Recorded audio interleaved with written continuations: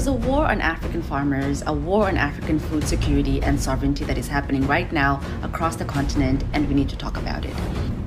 Whether you know it or not, the agricultural industry in Kenya, in Africa, is under attack. First and foremost, they don't want you to share seeds because they want that the seeds they sell to you are patented by them, so it becomes their product. Which they have collected all our seeds, all seeds in Africa, and they have taken them to Norway in the biggest seed bank, probably in the, in the world. And that's where seed, our seeds are. What is the agenda? I don't know. But what you are expected to do is to buy GMOs, genetically modified organisms, plant them, and they are they are modified in such a way that once you plant once, what you get you don't replant. If you replant, nothing will grow. So you keep on buying to plant.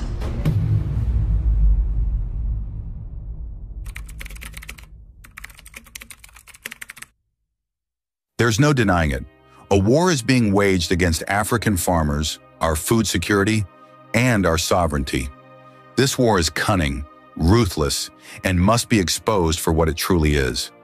This video aims to illuminate the grave dangers posed by the cultivation and consumption of genetically modified organisms, GMOs, specifically GMO maize seeds. These artificial seeds are not just a threat to our environment and health, but represent a much larger assault on the very essence of what it means to sustain ourselves naturally. The risks associated with GMOs are so severe that it's bewildering why anyone, with a full understanding of their implications, would ever authorize their use. GMOs, or genetically modified organisms, are living entities, plants, crops, and even animals, that have had their original, natural genetic structures tampered with. These genetic modifications are engineered to serve the interests of globalist agendas and the unsettling visions of certain scientists who operate without regard for the sanctity of life or the natural order. Instead of preserving the organic integrity of these organisms, they alter their genetic makeup to align with unnatural and often harmful objectives. To put it simply, the natural world as created by God is perfect in its design, God placed mankind in an environment where fruits, herbs, and plants were abundant. These natural resources were intended to be humanity's sustenance and medicine, ensuring that people would rarely fall ill, and even when they did, nature itself would provide the cure. The original design was such that humans could lead long, healthy lives, much like our ancestors who lived centuries, even millennia ago, reaching ages that today seem unimaginable. However, this divine blueprint has been undermined by darker forces. The devil, recognizing that the unaltered organic properties of fruits and plants would enable humans to enjoy long and healthy lives, sought to disrupt this balance. Through his influence over certain individuals in the scientific community, the natural healing properties inherent in these plants and fruits were systematically stripped away. In their place, these scientists have introduced harmful synthetic elements designed to undermine human health. This perversion of nature is what we now know as GMOs. Scientific research has increasingly confirmed the dangers of GMOs. According to PubMed, the results of most studies with GM foods indicate that they may cause some common toxic effects such as hepatic, pancreatic, renal, or reproductive effects and may alter the hematological, biochemical, and immunologic parameters. These findings, while cautiously worded with terms like may, should not be taken lightly. The reality is that GMOs have the potential to wreak havoc on vital organs, severely weaken the immune system, and open the floodgates to a host of diseases and chronic illnesses.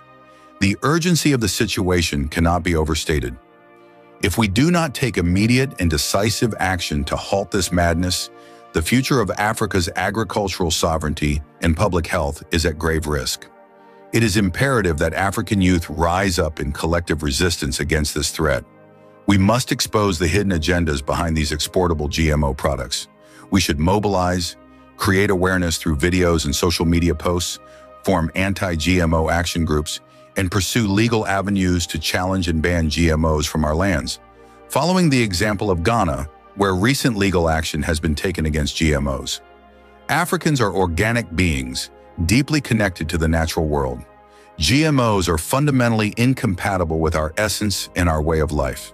The entire continent must reject GMOs, just as Russia has done, where the planting of GMOs is not only banned, but punishable by law. Why then are we allowing these dangerous modifications into our fields and onto our plates? The time to act is now. We must protect our food, our health, and our future. For enhanced comprehension, I would like to present you with the following brief video clips.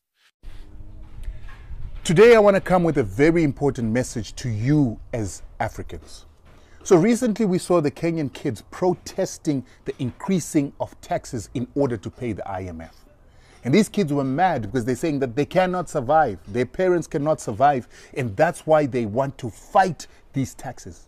They fought so vociferously, they risked their lives, sacrificed their lives, they even got killed in order to reduce these taxes because they want more paper money in their hands. Now, trust me, I've been to Kenya. I've been to Dandora. I've been to uh, uh, uh, Kibera. I have seen the slums and how most people in Kenya live. But what I want you to understand is that they were vociferous on an issue to do with paper money, but they forgot the most important thing just six months ago when the government introduced GMOs into the country. Now, you need to understand that yes, the tax issue is a problem. For a country to be milking its people in order to pay the IMF, that's slavery. But trust me, that is not compared to what it is that the issue of seeds is. This resource, seeds, is the most important resource in the world. It is the most important resource to humanity, animals, and life. Water food are the most important things because when you have those, you can survive. But what happened to in Kenya six months ago is they allowed the introduction of genetically modified seeds for cotton and maize. What the Kenyan people and these Kenyan youth did not understand is that their government had just signed them into food slavery and into death. They also didn't understand that the government had signed them up for a biological warfare together with a chemical warfare because the chemicals that go with these GMOs are ones that cause cancer. And if you look at the cancer index, the countries with the highest cancer rate and the highest cancer death rate in Africa, Kenya comes number four after Zimbabwe, that eats GMOs from South Africa that are laced with glyphosate that goes hand in hand with the GMOs. Second is South Africa, followed by Malawi and then Kenya. I've actually ignored the Union Republic that comes tops, but, but their death rate is lower than the four countries that are spoken about. Now, the Union, Reunion Republic, you know who colonized the Union, Reunion Republic. Those people kill Africans. You know this. So the fact that the Kenyan children did not find it important to rise up when they were being put into food slavery by GMOs, that when you plant it this season, you cannot replant it next season because it has a genetic use restriction technology. And when we were listening to the Kenyans trying to convince young Kenyans, as Kenyan scientists, Kenyan business people, and government officials, they said that there is nothing called genetic use restriction technology. They were lying. I am currently undertaking a court case in South Africa against a company called Innscor that also is present in Kenya as a fast food outlet called Simbisa Brands that has got Chicken Inn, Creamy Inn, Bakers Inn. That company, I took their food for tests here in South Africa together with uh, uh, uh France and Italy, and their food and GMOs came up positive for the NOS terminator gene. So the Kenyan scientists were lying to Kenyans when they said that the seeds will not terminate, will not become sterile, and people in Kenya will be able to regrow these GMOs. It was a lie. And I'm saying, so you African children in Kenya, in South Africa, in Zimbabwe, wherever you are, if you're not worried about your seeds, if you're not worried about how you're going to produce food tomorrow, what happens when you become captives of the companies like Monsanto, Bayer Monsanto, Syngenta, uh, DuPont, when they stop giving your country seeds, as they stopped giving parts uh, uh, uh, and, and loans to Zimbabwe during sanctions, what will you do? What will you do in South Africa right now if the South African government had not gone into a GNU with the DA and the Americans decided to put them under sanctions? Where would they get seeds when 90% of their food is produced by GMOs and seeds that are owned by Monsanto and other biotech companies from America? Besides that, these GMOs are known to be engineered to actually have ethnic diseases. Hence, you will see that there's a current study in America that was talking about the increase of diseases with the use of GMOs and glyphosate. They say that there's an increase in every single chronic disease ever since they introduced GMOs and glyphosate. This is scientific evidence that these GMOs are dangerous. Now, brothers and sisters, we will cry. And this is one of the cries that we will make as we stand or as we sit, as you sit where you are. There is a law that forbids us planting our indigenous seeds, passed by the, the former government. Uh, and if you plant it, or rather, it does maybe it doesn't stop us from planting, but you can't sell that seed to your neighbor to go and replant. What we are expected to do, it may not have been, you know, implemented, but it is there.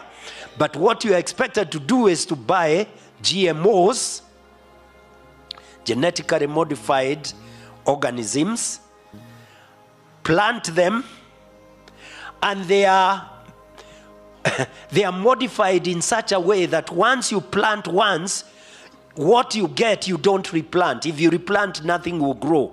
So you keep on buying to plant. Listen listen. We don't produce the gmos so basically we have tied ourselves to be paying somebody out there and because they will have let me call them brokers in this country. So if the seed is being sold K shillings or whatever number of dollars out there, the broker will also add. And we know that our brokers are also, many of them, not all of them, they are greedy. So the price would be high. And can you imagine every time you're buying, so there's money that is going out of our country, not, not circulating within our economy, and maybe one person or two people or three people or companies that are supplying that seed. They are the ones that are gaining. I'm just trying to illustrate we need to cry. But God hears cries and He raises deliverers time does not allow me to go further. I think the point is made. We need to cry. He will hear us. Just following that on the issue of the seed, we are enslaving ourselves because we put the signatures and agreed to some of those policies.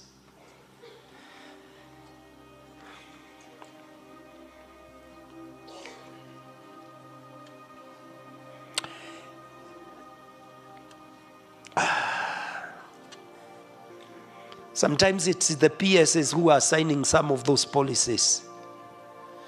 And perhaps because, perhaps, some of them have connived, they sign knowingly. Others because they don't read the small letters the, that are there in the policies. They just are told GMOs will produce more food.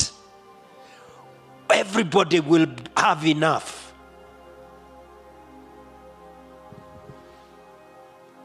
They make unjust laws, policies, what we call structural evil that holds us in slavery. Some of you may think I am becoming political. Brethren, go and read the prophets. We were doing yesterday a training on prophecy. And we discussed about the prophecy. And maybe we will do a series on prophets and prophecies one, one, one of the months. Maybe not this year, maybe next year, whenever. But one of the things that we said is that when you read the prophets like Amos, he analyzes the political, the socio-economic situation. And that becomes the prophecy because he says, because of this, God will come through. So when we analyze the socio-economic political issues, the misuse of power by those who have positions of authority, the misuse of offices, let nobody tell me separate these issues from the gospel. They are the heart of the gospel. They are the heart. My time is up. Let's. Whether you know it or not, the agricultural industry in Kenya, in Africa, in the world is under attack.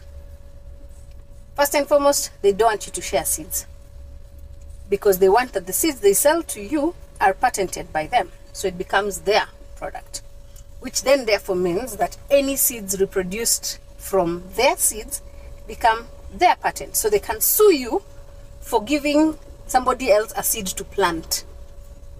They're taking control of the food. I've said it before. The only reason we wake up every morning to go to work, net net, is so there's food on the table. Without food on the table, you don't have energy to do anything. Once you control the food, you control the world. Number two, livestock. Livestock Act hmm, is another one. I'll sit down and chambo it for you nicely. That act wants every farmer to have a degree.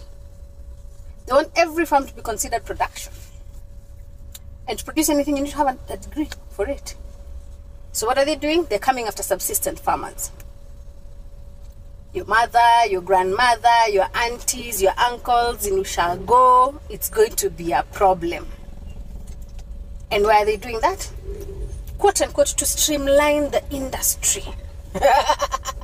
this industry that has been the backbone of Kenya's economy for years and years. I learned that in class 4 GHC. That agriculture is the backbone of the Kenyan economy. All of a sudden now you this is when you want to streamline it. Cynthia tisk tisk anyway that's all for now it was just a, an awareness post i will go through the livestock act bit by bit and come back to you with more details on exactly what the hell these people are trying to do In any case, I would appreciate your thoughts regarding the video. Please consider subscribing, liking, and sharing the video, and feel free to provide your feedback in the comment section below. Your input will be greatly appreciated.